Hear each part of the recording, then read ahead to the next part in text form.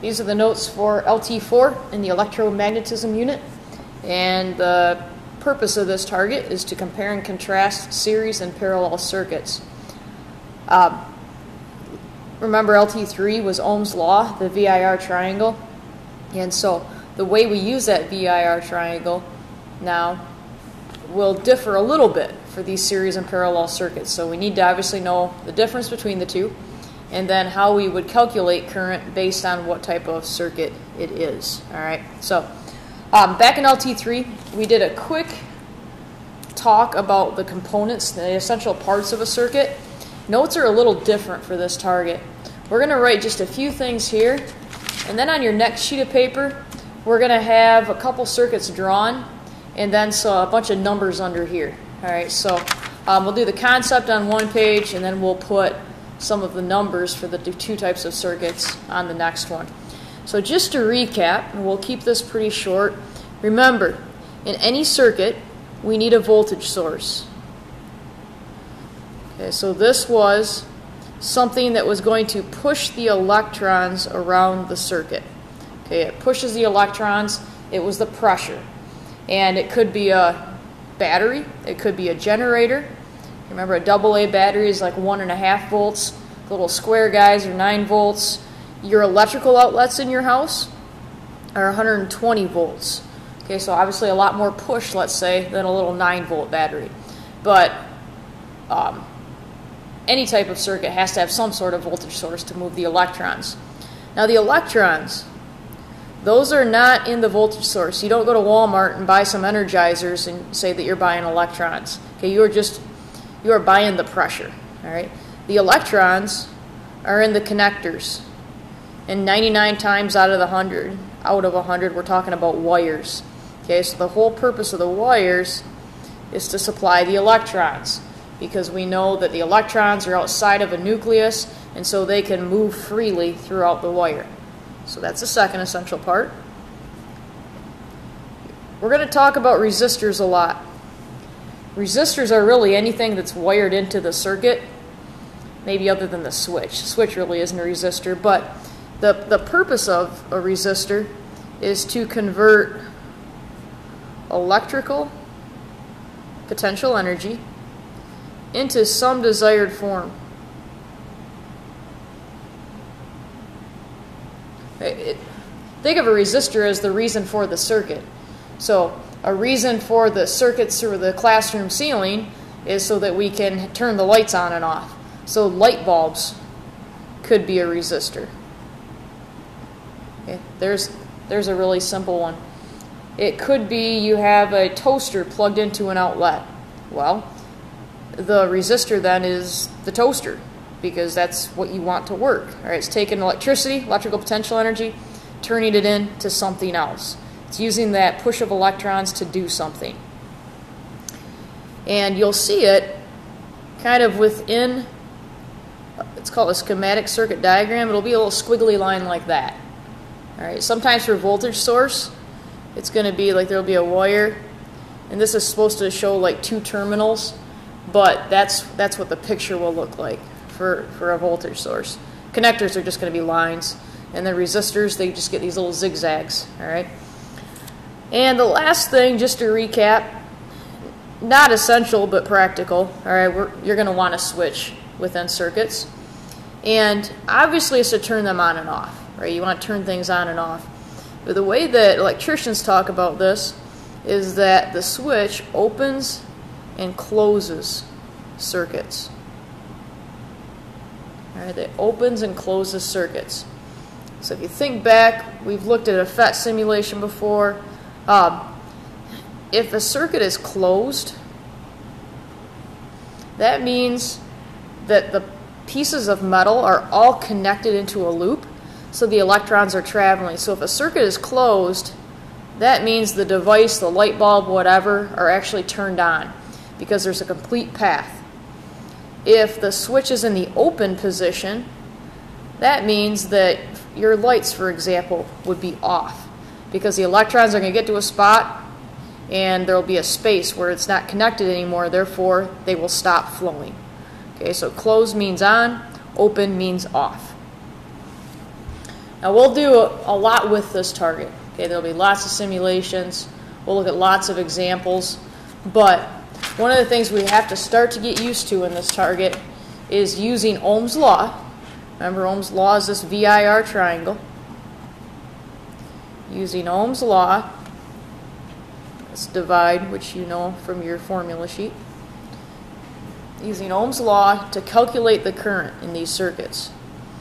Now series circuits are the easiest, most basic, but probably also the least useful of all circuits.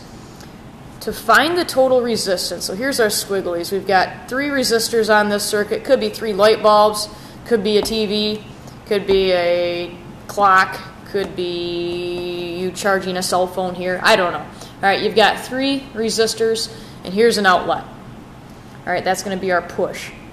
And if you want to figure out the total resistance in this circuit, total always infers that you add. So all you do is add resistor 1 to resistor 2, could be to resistor 30, all right? Who knows how many resistors are on this circuit, but you just add them up to get the total resistance.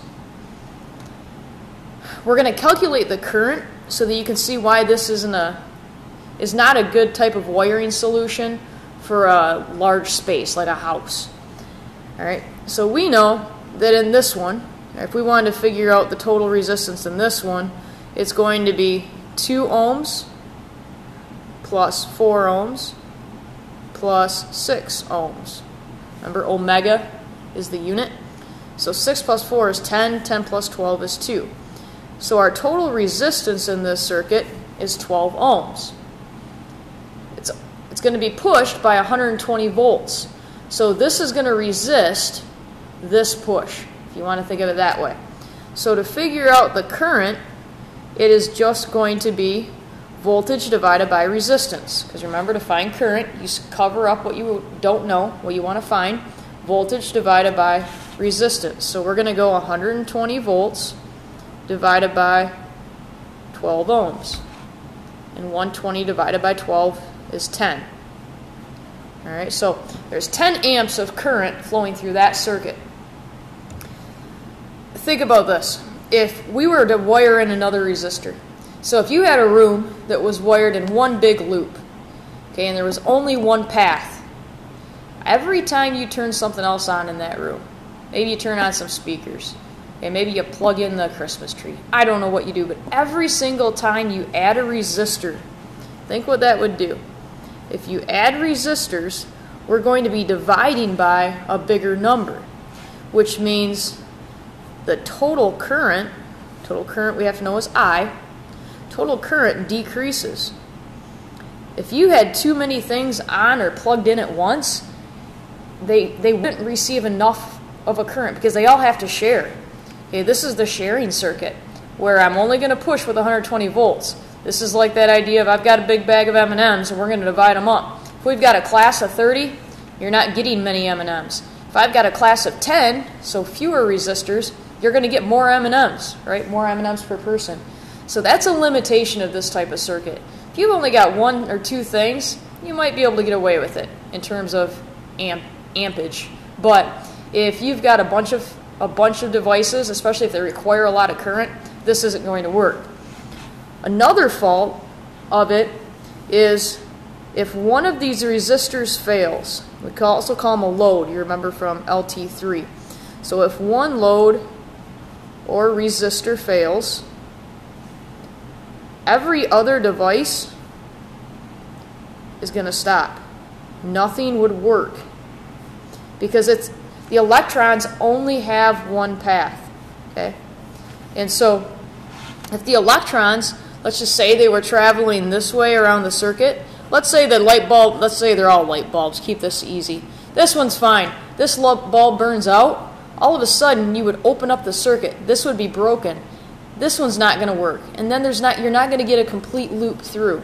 So you break this anywhere and they all stop working. All right? In your house, if you had a light bulb burn out in the living room and all of a sudden the light bulb in you know the your bathroom doesn't work. Well, how are you going to know which one burned out? The light bulb maybe on your front porch doesn't work. Like, it would it would be a nightmare if your house was on one big loop. All right, because if one thing stops, everything else shuts down. So not a good plan.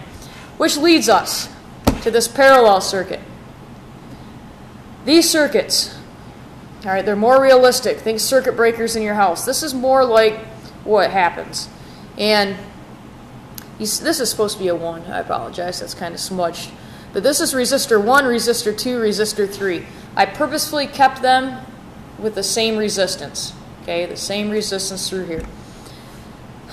Each of these loops in a parallel circuit is called a branch. So this could be branch 1, this could be branch 2.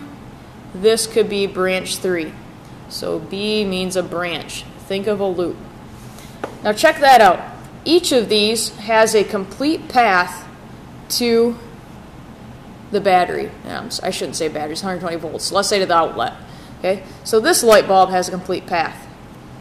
This guy, you can ignore this one, and this little line right here doesn't matter to him either. He has a complete path. And then light bulb 3 also has a complete path. So if light bulb 2 goes out, who cares? 3 and 1 are still happy. 1 goes down, no worries. 2 and 3 are still happy. All right, so that's obviously an advantage of parallel circuits is that you can run devices independently. It's not an all or nothing type of scenario. But in terms of paying your electric bill, okay, at some point, hopefully, you're going to be paying your own power bill. And it's because of this same thing that it's important to turn lights off. All right, I'm I'm a guilty party. I have a way of walking into a room, flicking on a light, walking upstairs, flicking on another light, leaving that one on, coming back downstairs, leaving a TV on. What? Okay, I'm, I'm guilty as charged. But to think about, like, why does that cause such an increase in power output? It's it's a VIR triangle thing. Because here, if I just kept turning on lights and turning on TVs and whatever, who cares? The amount of current is just going to go down and down and down. It's not going to give a full push to everybody. Totally different here. So, to calculate, okay, to calculate the total current in this type of circuit, here's what you have to do. Calculate